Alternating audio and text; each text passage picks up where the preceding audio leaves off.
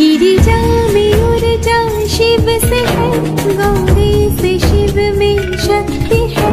ये दो नहीं है एक है अनुभूति समाभिव्यक्ति है।